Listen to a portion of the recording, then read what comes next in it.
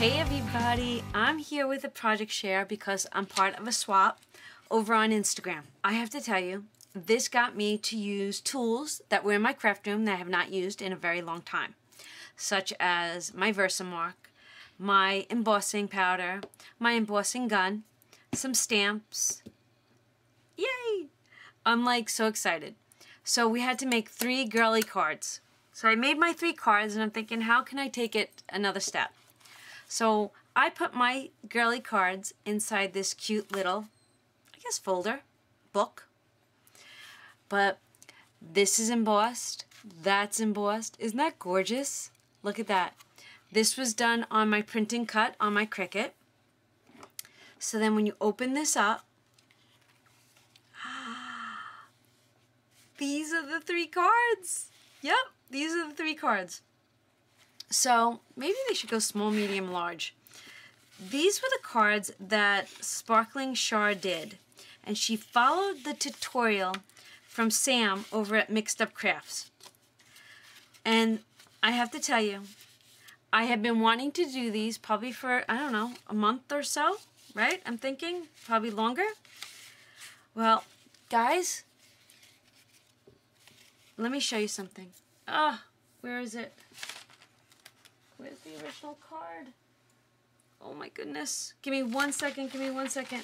Okay, laugh at me for not, it's like somewhere right here on my desk. Okay.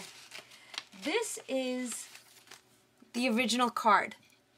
It was very big. And I had purchased this, I don't know, foil paper, I guess you'd say. And I thought to myself, not everybody has this in their craft room. How can I help people that don't have the product without having to go buy it? So I said, let me try to create it with paper that I already have. So of course, the Breakfast at Tiffany's theme came in because obviously I love that color. And I then decided to bring it or create it in Design Space. So this was the original size. This is my size. But then I made it two other sizes.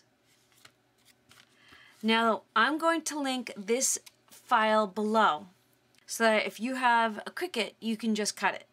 Then I decided to take ribbon and some bling. These were cut out and then I embossed them. Aren't they gorgeous? And then I decided to stamp the inside. So then I made the little pockets to hold these in. This one says, shine, you're amazing. And then peace. And I think it says you are amazing also. So these are blank cards for the person to use with envelopes.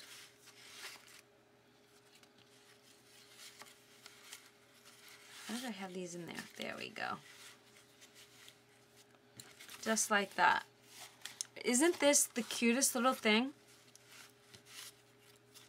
trying to figure out how I want to put it.